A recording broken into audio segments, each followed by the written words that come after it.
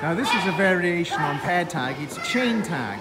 So every time you start off with one catcher, and every time they catch somebody, they add them to the chain. They can only catch the next person while they remain joined.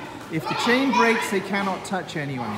And you keep, and the important thing is, people in the chain communicate to each other. Everybody go left, everybody go forward, right, left, back, turn, or they call somebody's name, uh, Hannah, Hannah, or Tomoki, Tomoki.